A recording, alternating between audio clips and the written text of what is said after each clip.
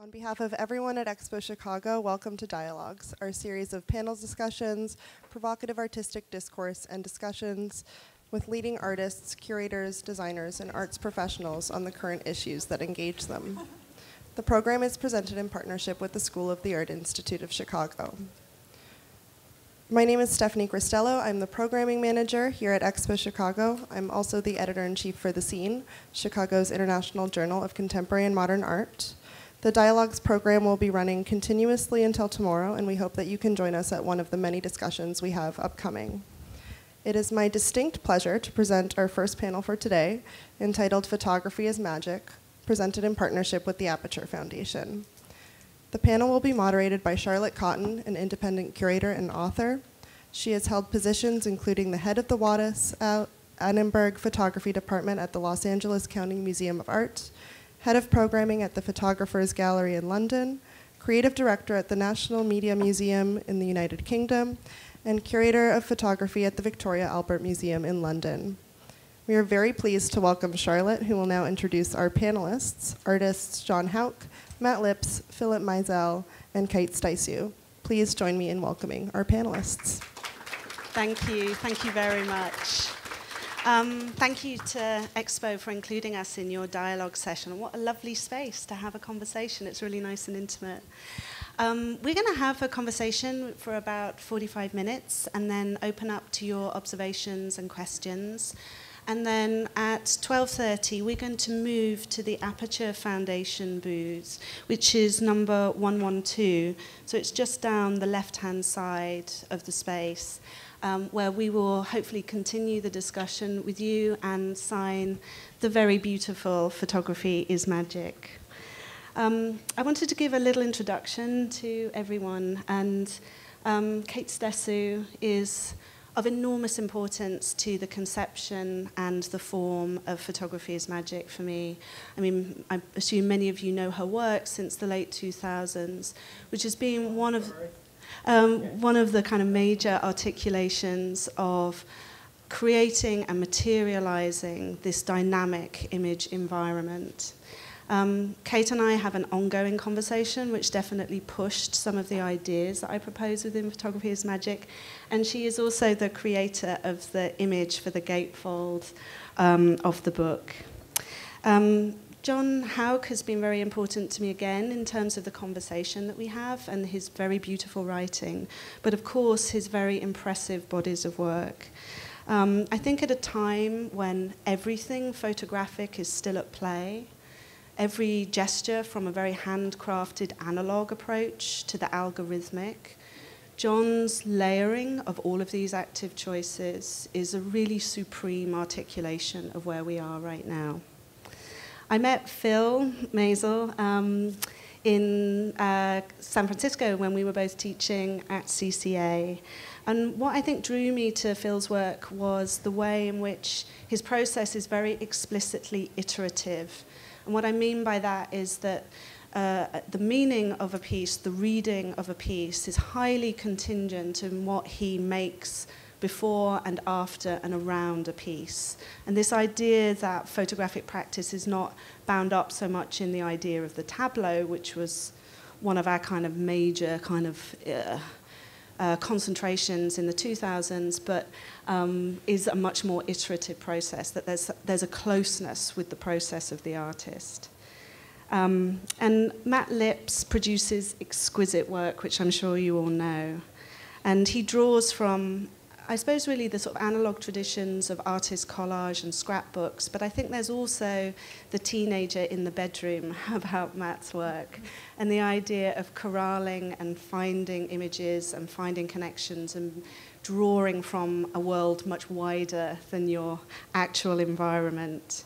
In a practical sense, what Matt does is he selects images and then very carefully scalpels them out and then he creates relationships, physical, stage-like relationships between images, which are then uh, they're held within the photograph. And it's this amazing sense of a constellation of meaning between images, reflecting, of course, the way in which images behave and we corral images in light of Web 2.0. So, one of the points that I try to make in the essay for Photography is Magic is that um, this is a very creative moment within image making. And specifically, I see it very much as an artist led movement. So, rather than being a sort of the tail end of the institutional definition of photography as a cultural subject, which begins in the 1970s. For me, and I think really the optimism of the book, is saying actually institutions might be going through a worrying time of not knowing where to place their photographic collections or photographic narratives within its structures and the story of modern and contemporary art. But actually, everything is fine when you look at it from an artist led point of view. And one of the reasons that I think it is such an animated moment is Um, just when photography was being established as a cultural subject in the 1970s principally, so you saw the founding of photo departments within museums and uh, single issue based spaces dedicated photo to photography. There wasn't this pre-existing thing called photography as a cultural subject. And so you had to come from lots of different directions. It was an incredibly open discussion about what this subject should be. And I would say that in light of Web 2.0, we're at another amazing juncture where our image environment, the media environment in which images operate, get used, but also behave quite independently of our curatorial and artistic practices, creates another moment that needs cultural definition. And as a result, I think we're seeing another time where you don't necessarily have to come through a very limited educational trajectory to this particular moment. So I wanted to start by asking you like where you've come from into this particular exciting moment of image culture. Yeah, you start, Kate. okay, Let's go down the line. Um, yeah, it's interesting, and um, we were talking a little bit about this last night. Um, I went to the School of the Art Institute of Chicago here um, and graduated in 2002, which was a moment where we, we were still using wet dark rooms and um, you know, there was a slide library, there was an internet, but we certainly weren't using it to look at um, art the way that we do now. Yeah. So, um, but at the same time, I witnessed September 11th here, which was really interesting because that I experienced on the web. So that to me was like a real um, transitional moment where you know, I was looking at art in, in physical form and creating art uh, in the dark room, but experiencing culture more and more on, on the net. Um, and um, so after school, uh, I, I needed to get a job, and I ended up finding, because I had learned Photoshop here, uh, finding a job retouching, and that was kind of where I came in contact with the, the tools and um, you know processes of post production and um, sort of by default, by not having enough money or access to dark rooms anymore, was suddenly in this world where I was working on other people's images, um, editing images, you know, for both um, commercial and, and uh, art practices, and um, yeah, and that became really kind of formative in my my you know transition from thinking about making photography per se or capturing images to the kind of labor and um, tools used to produce images yeah. in the larger cultural context. Um, and you know, from there, kind of thinking about what, um, you know, what what was the creative potential in these tools? Is there a creative potential and an artistic potential in these tools that are used to enhance or edit, but otherwise are kind of hidden from from yeah. the production process. I mean, there's I mean, there's a story about Photoshop within your your individual journey, right? That Definitely. sort of like early 2000s Photoshop, I guess, within the art school was really just a simulation of wet darkroom yeah, techniques. Darkroom, yeah. yeah, like a digital darkroom. Yeah. And then at the point in the mid 2000s when you're working in really the high end, uh, I mean, Photoshop isn't what we have now. It was right. almost like this secret society yeah, of very definitely. very few people who had those skills. Yeah, and it was like a, you know in, in that way it was a series of, of, of peculiar moments. At one hand, the transition between the digital and uh, between the analog and the digital in school, and then also this moment before a lot of photographers and image makers across the board were in charge of their own pr- post production, and this, you know, you relied on post production houses to, um, you know for pre-press, for exhibition preparation, for whatever. And um, so again, it was another highly peculiar moment yeah. where Photoshop wasn't necessarily something that everybody had. It was super expensive. It was, you know, yeah. designated to the realm of education and or professional use entirely. So. And how does how does it get to a position where you're starting thinking of that as a material and a modality within your own practice rather than the way that you earn a living? Yeah, it was. I mean, I think it was. It was. Uh, it was based in play, really. Like I, I, um, I worked in a retouching studio that was um, kind of populated by other art kids like me. We were all poor. We worked too too many hours, and you know, and we would. And we, that was also my first introduction to chat, like uh, iChat. So we would take these images, other people's images, and I won't name names because it's like entirely blasphemous. But we would, you know uh, cut and paste and make weird compositions and shoot them back and forth to each other, layering on top of each other's work. And, um, and I thought, you know, I started to think, well, there's something really interesting to this play. It's more yes. than play. It's, more, it's like taking a, you know, the creative agency away from the, the capture of the image per se and, yeah. and um, you know, really feeling a sense of ownership over what happens to it after uh, it's in our hands. So that, that got me thinking about um, you know, how far can this go? Yeah. Um, and, and does it have a cultural resonance outside of its use value? Yeah. That's great. Yeah. I'm, I'm going to jump around so you don't feel like you're just waiting in a queue. Matt, tell us about your beginnings. Oh, um, I, in my bedroom when I was like 13, as you mentioned, um, that was my introduction to photography and this sort of the way I was seduced into the imagery of glamorous pictures, beautiful women. I was like super obsessed with supermodels of the 90s. Um, I was collecting all these images thinking that I could be maybe Irving Penn, like as a day job, but I still wanted to be an artist, so I wanted to be able to photograph like Ansel Adams.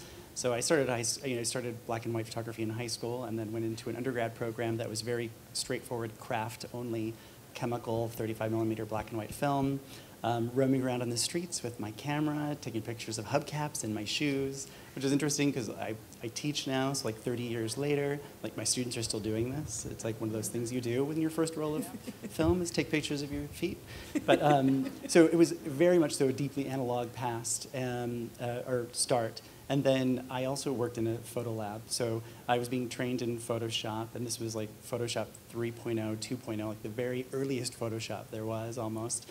Um, and, and being kept current on like the cutting edge of what that technology was, but it was never my fine art practice. That was my day job. So there was sort of a split right there. Yeah. And I think it wasn't until I got into graduate school um, and really started get deeply engaging in like theoretical sort of relationships that people have to images and the impact um, that they have on me and uh, as us, you know, us in a culture, a visual culture that read these images and share histories, um, that I think all of these things sort of came together. So yeah. I still have a very deeply analog, tactile, hand-cutting process. For the most part, it's me listening to terrible music in my studio, cutting out pictures and trying to figure out how they work. But then sort of another critical lens that's brought to it later to see what the, the what the juxtapositions might mean, what they mean to me, and then to share them with other people to see what other people find in them, yeah. so that it does link up to uh, more of like a, a, current digital conversation about like sort of rhizomatic structures of image information or even Google image search, the way like all of these things pop up at once that signal all these different things. Yes. So that's great. Phil, um, I forgot to mention in the introduction actually that some of your lovely new work is on show just next door at Document. Um, how did you get to that? What's your journey been? Well, uh, I kind of came to photography late in a way. Um, I did an undergrad in um, psychology and then worked um, a pretty random job doing property assessments. Um, and I just started taking photography classes at night, um, and that's kind of where I started to build upon my work. What, what, what do you think you were doing by taking photography night classes? What would that have oh. meant to you at that time? Yeah, no, it was just it was just a hobby. It was really affordable. It was a community college, so um, it, you know it was just something to do outside of this kind of mind-numbing day job I had. Yeah. Um, and so I kind of came to photography through a very almost technical background, um, just because it was this community college and it was all about kind of jobs and, and um, yeah, retouching and, and kind of fashion or, or editorial or um, documentary. And so uh, my relationship to photography was, was that at first. Um, but I always kind of felt uh, not at ease with that at all just because well, one, I didn't think I was a, actually a great photographer to begin with, and then so um, to try to shoot something on the on the fly like that never really worked for me. Um, and so I feel like my relationship to photography has always been, um, I guess, like a, a push and pull where I love it and then it, I feel completely um, unfit for it and then I obsess about it, but um, I also kind of have a distance to it. Um, Yeah. yeah. Yeah. So uh, yeah, I feel like it wasn't until um, grad school that it kind of opened up in a, in a certain way, and I was able to kind of think about it in a broader conversation. I mean, I think that distance that you describe is very indicative of this moment and this idea that people are coming from lots of different places. That there is, I mean, it's not a sort of lack of attention to what you're doing, but there is Mhm. a distance to that very basic premise of photography being my voice or the camera being a prosthetic. Like it's a, it's a different relationship, I think, with photographic technology. And I guess, I guess for you too, John, right? Yeah, I also came to uh, photography a bit a bit late in the game, so to speak. I uh, I studied architecture in college, and then worked in software uh, and also computer science. And I worked in software for five years at uh, Sun Microsystems. And to put it to put it rather bluntly, I suppose I became I felt quite lonely being on the computer all day, programming 12 hours, and as much as I enjoyed that as a kind of intellectual pursuit, the social aspect was completely sort of lacking. So I thought, Yeah. why not go back to school for architecture? I had this undergrad in it. So I went to UCLA for architecture originally. And pretty soon into the first year, I realized that was also not exactly what I wanted to do, and that architecture was a way to please the world and my parents so that I could have this great major that was respectable and, uh, you know, combine my interest in engineering and art and all of these things. And really, uh, you know, moving to LA, starting to see, like I saw the Tim, so- Tim Hawkinson show at LACMA, and that just changed my entire perspective. And I thought, what am I wasting my time for? Why not cut to the chase and become an artist? So that summer, I was working for Thom Mayne, the architect, and he had a show at the Pompidou in Paris, and there was a show of LA artists next door to his his architecture show, and I met Jim Welling, or sort of badgered Jim Welling to um, let me take his undergrad photo class as a graduate, and I then transferred and cobbled together an MFA uh, at UCLA and worked with a, a wide range of people. Um, Casey Reas, who developed his own programming language, Jim Welling, Andrea Fraser, and and that's when I really it was in grad school when I started working with Welling that I really in earnest began uh, photographic practice. Um, and it, for me, it really wasn't until the Whitney program in New York that I uh, found my own voice in a sense. I think up until that point, I idealized what an artist was and was trying to attain some kind of ideal notion of an artist when the Whitney taught me to really look at my biography and integrate architecture, s- software, all these things that I thought weren't art that needed to be sort of cleaved off from my experience. Yeah. Uh, in that program, they suddenly became a part of my process, and that's when it really took off, in a sense. Yeah, yeah. Yeah. I mean, that's an interesting point that you make about this idea of like what it means to be an artist. And definitely one of the proposals within Photography is Magic is that um, I talk about like the historical precedents for you all because there's been probably one of the most used kind of analogies for the work that you're doing is like contemporary cubists, right? So it's having this very strong relationship with the avant-garde. And I, I, I get it to a certain point, particularly when you're talking about the cubist collages and this sort of layering within one frame, um, which obviously has a very kind of um, kind of a different read within a screen-based era. But I think there is a massive difference. Whereas with the cubists, you might say, well, they were had an avant- avant-garde mo- mo- moment, and they drew in from this image explosion, their version in the early 20th century of the image explosion. They were drawing all of this material into the dialogue of avant garde practice. So, still a very stable idea of what it is to be an artist, which I guess is one of those kind of fantasies that artists, that gets you to that point of making the commitment to being an artist. But then that actually not being a reality or a particularly interesting position, a fixed position to adopt, I think, within the current image environment. So, I mean, there's a lot of writing around this, of course, because I'm talking about post internet practice and this idea of having multiple positions, being both articulating ideas around the image world, of the image world, but also being within the image world. So these quite mobile positions within it. And I wondered if that resonates with any of you at all. And I don't, I'm not going to call you out. It's up to you to, to chime in if that resonates. Yeah, I would just, Yeah. uh, I would say something that, that sort of struck me last night that we were talking about in relation to that is this idea that the post-internet or the iterative or this kind of feedback loop that we, I think we all partake in as photographers where we're continually sort of making something and then folding it back into the process of making. Uh, I think there's something really profound in terms of a search for contingency in that. And I think I think Photoshop, for me at least, it it uh, it kind of levels out that contingency, and I and that's where the physical comes in. That's why I actually make kind of maquettes to photograph to then lay out objects back on top of that, and it the the, the physical paired with the, the kind of repetition of the digital creates this this strange disjunction that I think is maybe a search for the lost magic of the chemical index of photography perhaps, or some way to find desire within the highly repetitive kind of drive of the digital. There, I mean, there are a lot of reasons why one would do that, but I think, yeah, it's of course, as you're pointing out, very different from the cubist model of the avant-garde. Um, I think we're all after something different.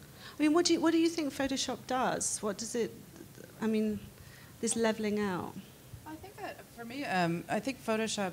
uh, One thing I was just going to jump on with. No, with you go what, ahead, What, sorry. What John was saying is that um, I think the one thing that I relate to that's sort of an, uh, you know an aside to the the cubist comparison is is I think there's like a reconciliation with a pace change in the way that we Mm. receive and also produce cultural information, and I think that there's a similarity there um, in, in the way that you know people are artists are trying to and you know humans in general are trying to reconcile themselves to a new pace and um, yeah in that way i think that um, you know photoshop certainly plays a role in, in both the, the, the pace of the, the production and the dissemination of that and then there's like you know to to sort of connect with what John was saying, there's then then there's this moment where you have to real, you have to sort of rein it back in and figure out how to um, physicalize that or or Yeah. in a way that resonates. How would you describe the pace of your own practice? I mean, there's a number of steps within Yeah. it, isn't there? Yeah, it's sort of it's like slow, fast, slow, fast. you know, um, and you know uh, the, the the hoarding of images, the collecting of images, and all of that is actually very slow and methodical. And I think that that you know you guys can all relate to that too. That uh, probably everybody in this room can relate to this like collecting that that has now become part of our um, experience of photography, whether it's Yeah. our own image archives or the things that we like from the web, this constant sort of um, hoarding. And, uh, but the actual um, construction of the pieces, the, the element that happens in Photoshop is very fast. Um, I like to keep that close to an instinctual level. Yeah. Um, so not to, I don't like to over worry that, that aspect.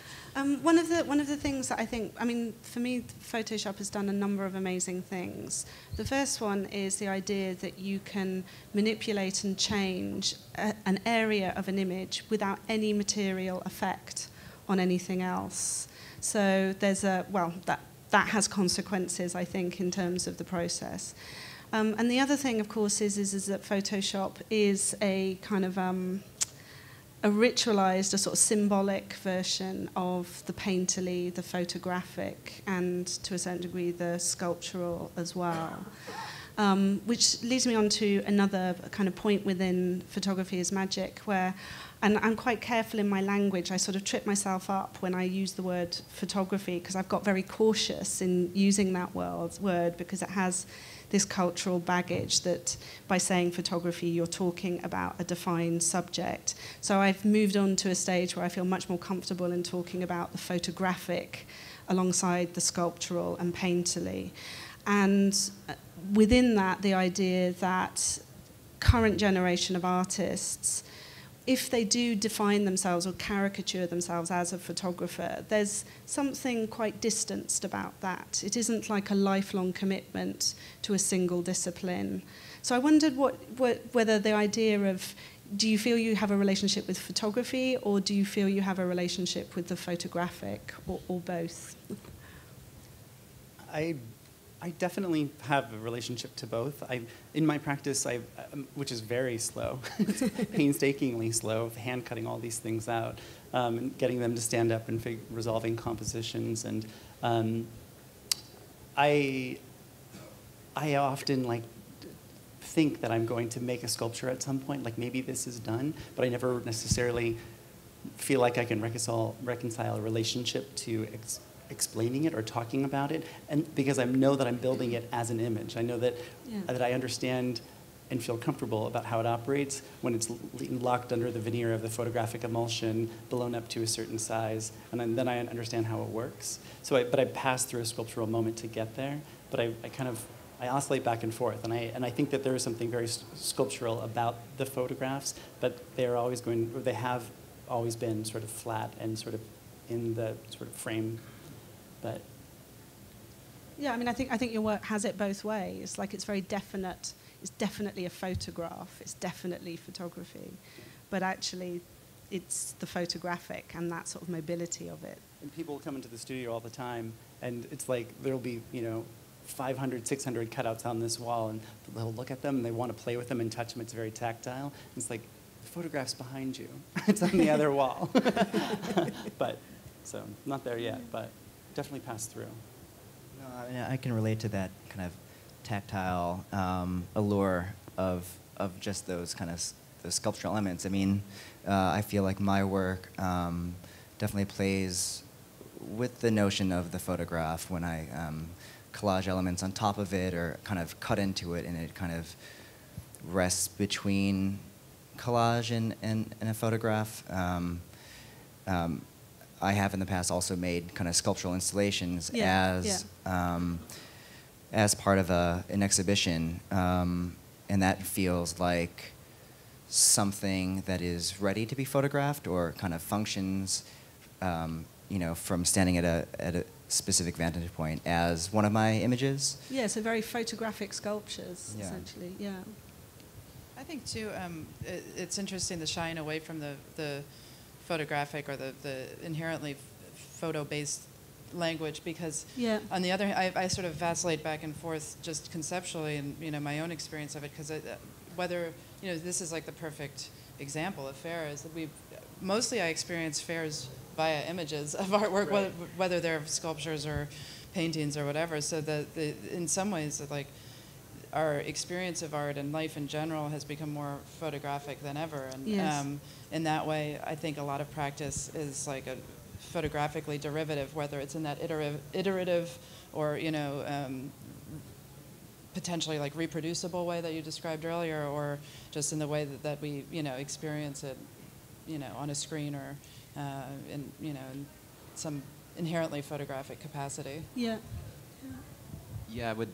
Um, I, guess I feel like photography is almost in, inescapable in a sense, in that no matter what I make going forward, it will be photographic to some degree. It's like, uh, I guess, as everybody was speaking, I was kind of reminded of this this Kaja Silverman idea that, that photography is the second coming in some way, and it's the only one that will occur. Tell, it, tell us more it's, about it's that. It's a kind of presencing of the world. Uh, you know that that started very early on, of course, and has a long history. But it uh, it shows us the world in a way that you know religion could or something. Um, and and her idea is that this is this is it, that it's already arrived, and how do we work through it in a sense? Yeah. Yeah.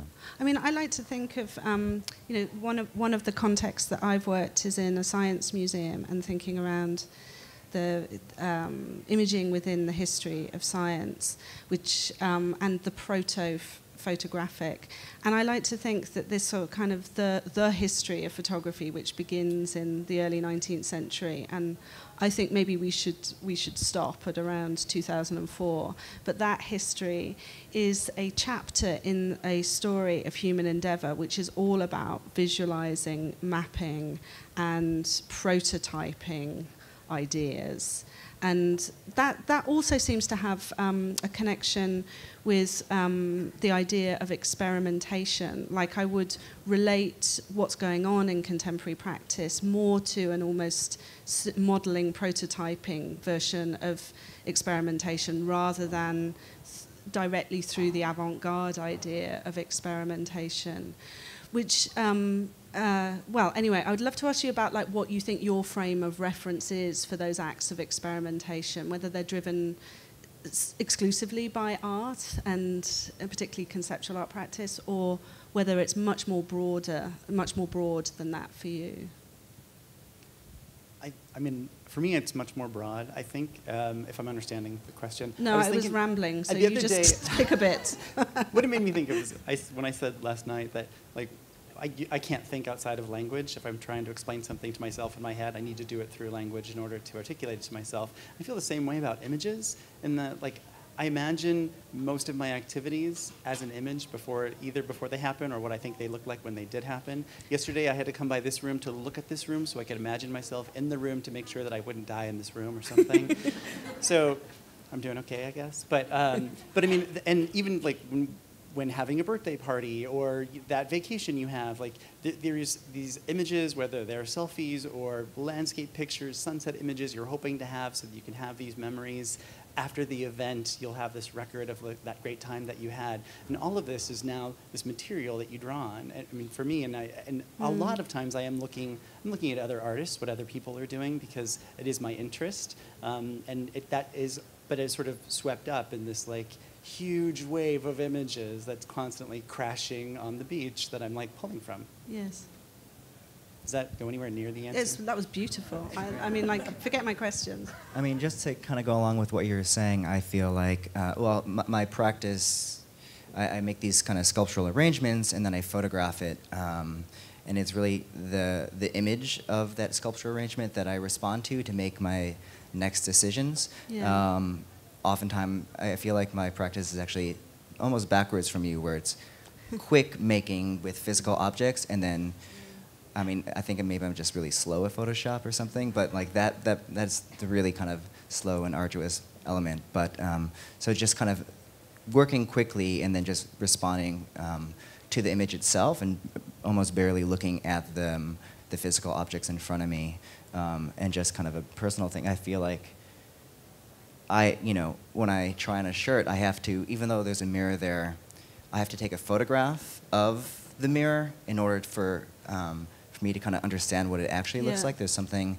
that I think happens a lot um, just in terms of that. In that photographic space, yeah, that's, there's a lot happening there. Um, I would say that I'm almost like egregiously bad at contextualizing myself in, in the like larger art context. It's like because I'm because I started out that way of sort of like, uh, for lack of a better word, defacing other people's images, it yeah. felt very, um, you know, uh, self-contained in that way, and and uh, so sometimes I can go a really long time without thinking about like you know, contextualizing the work within a larger art context or um, you know looking at other people's work so much except for these guys.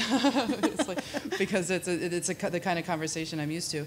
But um, but uh, yeah for me I'm, I'm, I'm really interested in the, the, the way that people use these tools so I'm always trying to contextualize myself within like a relation to a user of any of you know whether it's like a cell phone camera or, or you know sort of an amateur Photoshop mm. experience or uh, you know downloading image editing software and just kind of clunking around with it. Yeah, we're going to come back to that point. John's going to. Yeah, I was going to say the idea of a body of work is something that is actually a very photographic idea right. as well, and that's sort of how I organize my my thoughts or, or my practice. You know, with I think before like Walker Evans, nobody talked about a body of work. This was a, a kind of term that's that's now used very widely, of course, but really is a, is a photographic idea and one that I think, you know, in, in my aggregate series, I sort of, you know, took my experience as a software engineer and paired that with the kind of photographic ground. And it was an attempt to find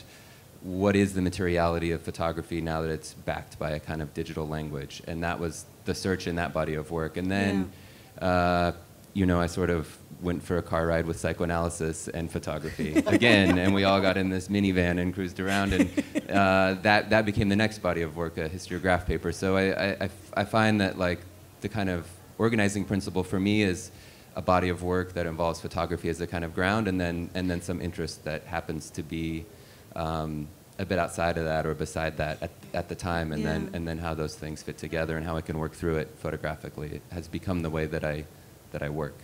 Yeah. That's a revelation to me, the idea of photography as an organizing principle, more than a set of acts. That's great. Um, Kate, you were just you were talking about your kind of user or the sort of user mentality having a, a lot to do with the context when you're you're working, and um, it's sort of uh, I feel like I need to declare about photography as magic because it's so much about this idea of relationship with viewer or user, And so the photography is magic comes out. I mean, the, the starting point of that for me was 2007, going to the Magic Castle, which is the magicians club in Los Angeles, and really getting into close-up magic. So I think the title's great, and maybe I would have given the book that title anyway because it's so optimistic. But it's literally for me embedded in the practices of magic, of mm. close-up magic. And um, a close-up magician, when they're going through their practice, which is where you prompted, you reminded me, does so with a three-faceted mirror. So it's all about the perspective of the viewer rather than from their own perspective. And with the full cognizance that a magic trick doesn't, it, it happens in the imagination of the viewer. Like it has a certain mechanics, often ones with enormous amount of seeming repetition and iteration that goes on. But actually, that, that's the, the magic is not in the mechanics, the magic is in what it triggers in the imagination. And so then, then I got into this idea of the sort of sleight of hand that's going on within practices. That, you know, that they, these, your kind of practices are not making, they're not relying on those traditional things that got contemporary art photography established, like a signature style or a very definite subject. So these very concretized ideas of what a photograph needed to be to function as contemporary art. And also this kind of massive separation between viewer and artist. So using different cameras from, from everyone else, from your viewer, very different production values. And so, and I see within the work, the work that you guys are doing is not only that sort of recognition of our general visual literacy, so using not only your expertise, but also what everyone's doing and what you know all of the readers and viewers of your work are, already do. Um, but also, I think, sort of playing with technologies and renderings which might clearly have begun their processes within the commercial world, so somewhere other than art, mm. which is a really interesting chapter within photography as contemporary art, because if you think about back to the sort of 70s and, you know, as contemporary art gets established in the 90s, it was almost like a sort of school and state rule of, of technologies that artists used the large format cameras, the sort of historic cameras, and it had no conne- connection really with what was happening in the commercial, professional worlds of photography. And you're working in a moment where essentially it's the same technologists as a as commercial practice, and it's the same mentality as everyone looking at your work. So. I, I wonder if you could elaborate more on terms of you know, do you imagine who your viewers are, or do you, um, and uh, clearly you anticipate how the works are going to be read within this current image environment? You can contradict me and say, no, actually, I'm no different from a cubist, but, but I'd love to hear about what you think about the reading and the viewing of your work. Well, it's a, I think I, def- I definitely um, am looking to reach the person that digests, you know, these kind of images, which we all do, you know, stock images and advertising images. Yeah. Um, on, the, on a daily basis, which is why I choose them because I, that, because of that resonance with the larger uh, cultural context rather than just a purely art context. And I think you see this like I, I definitely consider the practice like jumping off from people like Heinecken and um, you know uh, Robert sort of Heinecken, integrate, yeah. integrating Yeah. those kind of aesthetics and juxtapositions and re rearrange rearranging them so they have you know a, p- a- like a different syntax potentially you know but but keeping those those signifiers in place um, because they're so powerful outside of um, the traditional art context is, is kind of how I think about it. Yeah.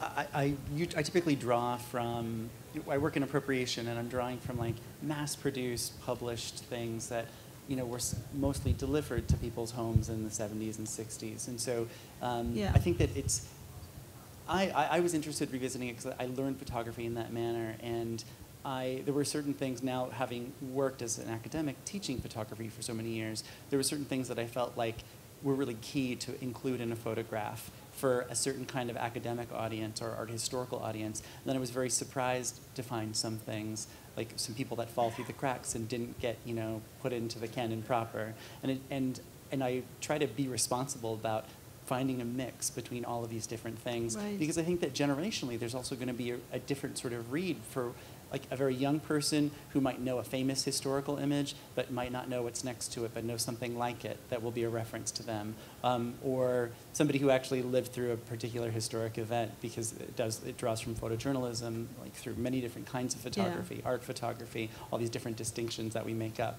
But Yeah. um, so I, I definitely my relationship is always personal with the image as I'm looking through it and I'm cutting out the spaces that I'm interested in, building a composition that's actually more formal than anything else, just to, to make a picture work, I think work, and then setting it out to see what people, how people relate to it. Um, and, and I think it's interesting that people want sort of validation about that they, that they know what they're looking at, and they can, but it also serves as, all of the different cutouts serves as different prompts that Yes. will spin conversations off in many different directions. And that's fun just to overhear people talking about the pictures for me. Yeah. And also, and also kind of using photography not only as a material, but also as this prompt for something else to happen. I Oh, mean, yeah. the, the, you know, the quickest route to you delivering that is to scalpel out and, and put up the, the icon itself, this ideogram of something, and then it prompts something in our imaginations. Right. Yeah, I, mean, I feel like my work. Um, I mean, just the way that images move throughout the world. Um, you know, you make work, and then you, you just kind of you put it out there in a certain way, and then it, it feels like you just kind of talking to nobody in particular in a, in a certain way. Um, but there's, a there's a danger that feels like pure silence and tumbleweed, though, Yeah. isn't there, if you're not kind of at least imagining who you're talking to? Yeah, but then you know, knowing that my work um, is influenced by certain things, and I'm trying to have a dialogue with um, other individuals, and, and that there is this conversation that happens, um, Mm. Whether or not it's explicit, whether it's actually you know talking or texting or or meeting in person, but just how people I think immediately respond to images and how that kind of plays into Yeah. um, how they think about images or how they uh, make their own images. I mean, that relates very much to this idea of close up magic, which is it's a very close circle of viewership as well. And I think that, I mean, when, when you finally get a chance to really look at photography as magic, there will be people who you have, have had these long term conversations with, literally. You've had this kind of others that you've had these abstract conversations, sort of almost like, well, what does that mean in relation to Lucas Blalock or, or, or whoever?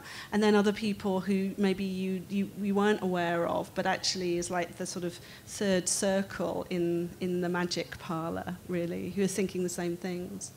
Yeah, I, I, following on that, that, that idea of a, of a circle, a kind of social relation, I, I, you know what, that's been the greatest gift, I think, of, of having a career is, is the number of studio visits I now have. You know, Yes. it's like five, five a week at least. There are people coming through. Amazing. And the relationality of that and the way in which I can, I don't have to necessarily think about a viewer because I'm having a conversation as I'm making my work continually at, Yeah. at, at a, every point. And that's, again, you know, just really been the best, the best part about all of, all of this in a sense. Um, but I, you know, I do think about attention uh, and That's not, not, not getting somebody's attention not as like a say a marketer would uh, not hooking somebody but more like what what happens when somebody engages with my work and how do i keep or encourage a kind of attention that is outside of the everyday attention that we kind of live through in our day-to-day experience which which you know of course tends to be quite fragmented and, and quick and so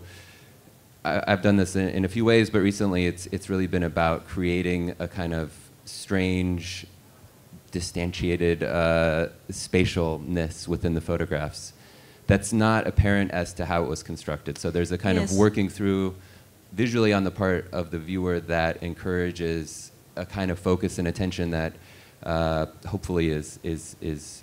I'm, I get very moralistic about this, but it's hopefully outside of the kind of everyday experience. That Yeah. that's something that's very important to me, and and of course you can't. It's a difficult thing to will.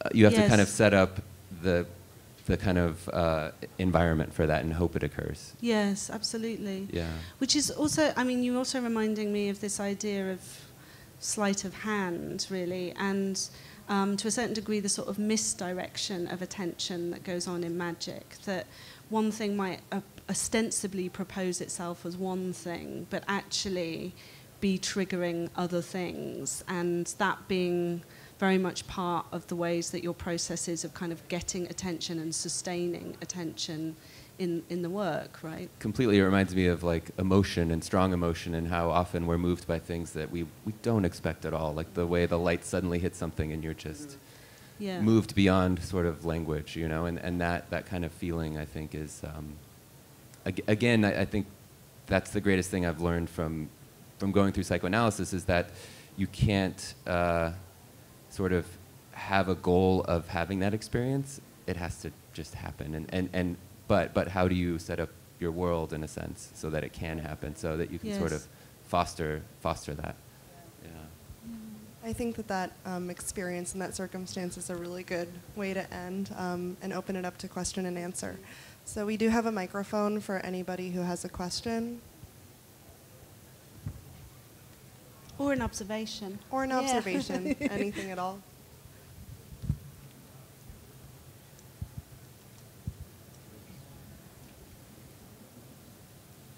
Okay, well, if there's no questions, um, please join us in thanking our panelists. Um, and the, oh, we do. We do. We have a question.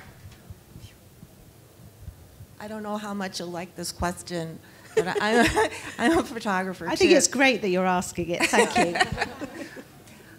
I, I'm a little bit baffled by appropriation art. Um, for example, recently Richard Prince had uh, photographed Instagram or appropriated Instagram images and they added a comment and, and blew them up, enlarged the print, and is selling them as his own in New York um, for I, I hear ninety thousand dollars.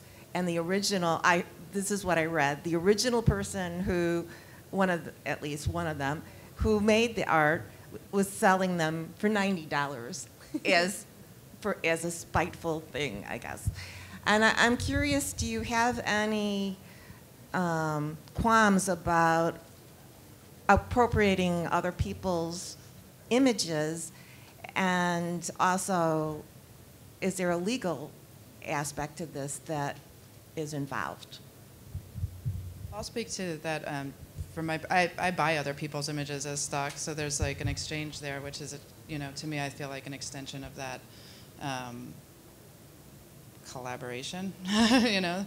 Um, but then again, I'm not opposed to uh, to grabbing from the web either, just because it's, you know, once I feel like the, in my work, it's so altered that, that they become someone else's, they become something else in the process of, of that alteration. I mean, I think it's definitely a, a, a continuum between, you know, say, Richard Prince and, and then, you know, something that becomes entirely other in the process of its, its um, you know, sort of interventions along the way.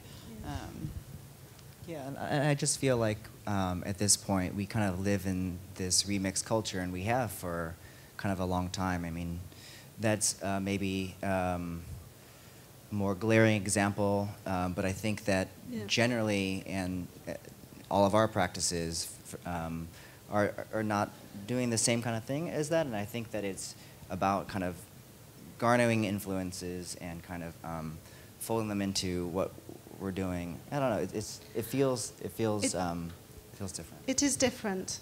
Um, I, I think that was. I think it's a really bad art project, that Prince project, and um, and I, I mean I, I think it sort of clusters lots of interesting discussion around it. But I think it's massively unconvincing as either a, a piece of work that sort of shows best practice within appropriation and where that could go within Web 2.0 era, because it's a historic idea, appropriation. appropriation.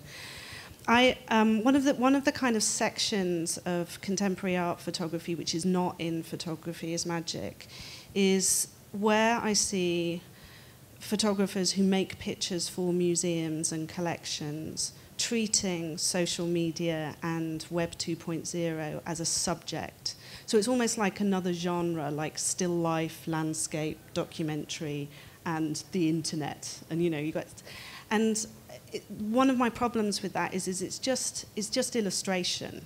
It just means that you know a curator in a collection in the Midwest, a photo collection in the mi Midwest, goes, oh, how convenient! I can I can address the internet, the image environment by buying this body of work, which doesn't operate in any way differently from something produced 30 years ago.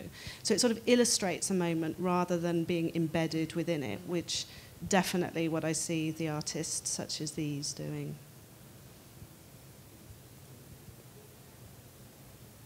One moment.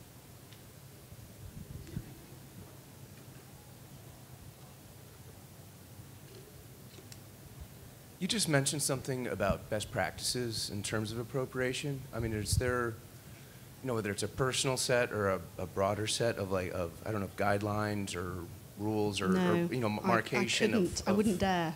there, there's no way that you could, you know what I like like I, I, you know it's it's like pornography. You know it when you see it. Like right. is there is there anything? I mean, is, is it that simple? There's no. Well, I mean, I think these. I think what's going on here is not really strictly appropriation. It's not quite the right word because that's a historic term.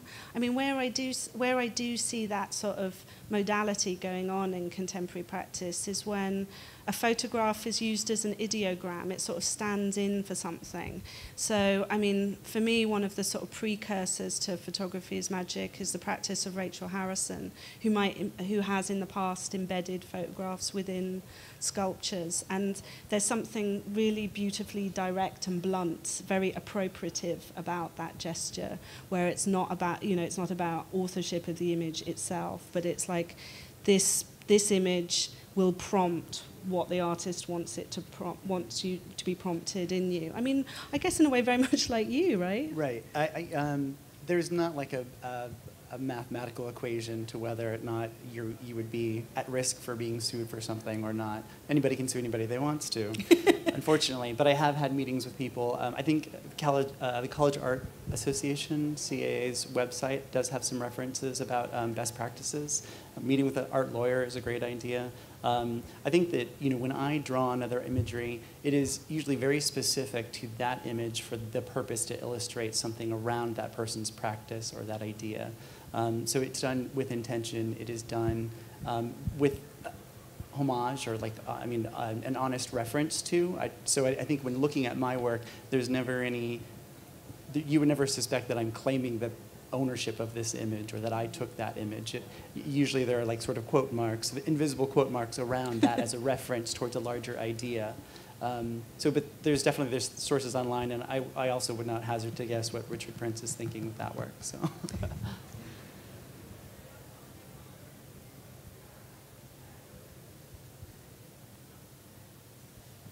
Hi. Um, I was wondering if you could maybe talk about in your practices how you think about the distance between in a photograph the image and the object because I feel, feel it's a medium that nice those question. things are forgotten frequently. Um, so yeah, please.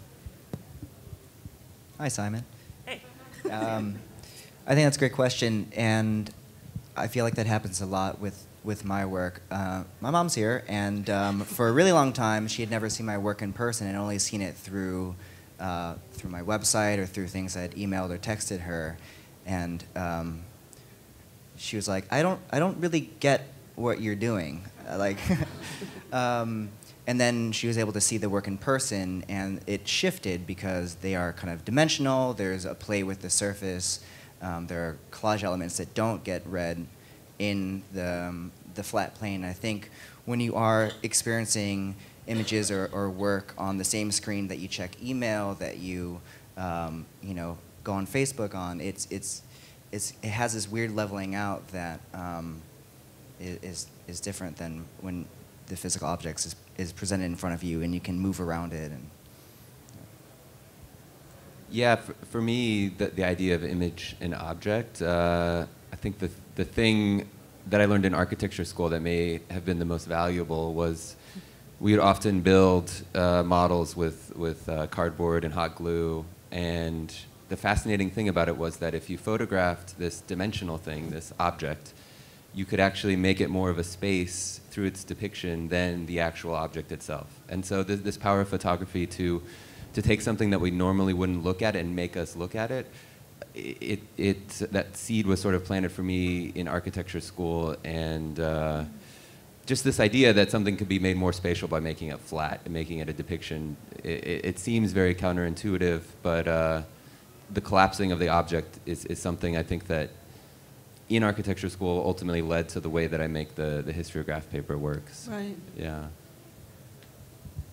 Kate, do you have anything to say about It's a big subject, the It is a image big sub- object. You well, know? it's, it's, it's funny. I, I was I'm, I'm thinking that the you know the, you guys both put it so well um, because it is that, that mechanism of, of photographing something and viewing it through that that surface that uh, is is something that's so vital to our experience. Um, yeah, mean, I mean, in my work, it's it's tricky because they, they go from from image-based collages to then a mock-up that I you know, with, with all the appropriate measurements and stuff that I send to a framer, and then um, to an object. And sometimes I can't even look at my own work or understand how it's performing until I photograph it again, in you know, in situ. And then, um, so so yeah, it's it's definitely a, a vacillating back and forth between Yes. the physical and the photographic plane. Even though at this point my practice is is highly physical.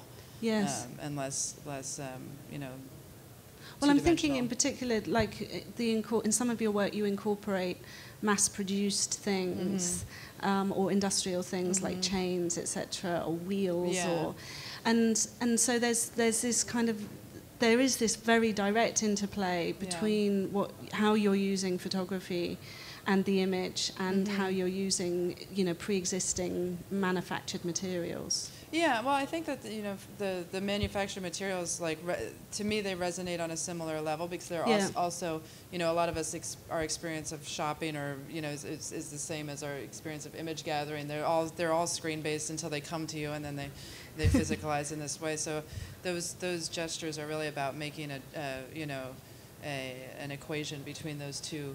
Uh, things, the image and the, the, the thing that then comes and is you know placed alongside or on top of or underneath the, the work. But uh, and, and in other ways, they're just ways of sort of pointing pointing the viewer or whoever's experiencing the work to a physical, you know, wheels as like a, a gesture implying speed or implying mobility or you know. Yeah. Um, and, and you know forcing them to behave in the same way as, as, as the images. Yes.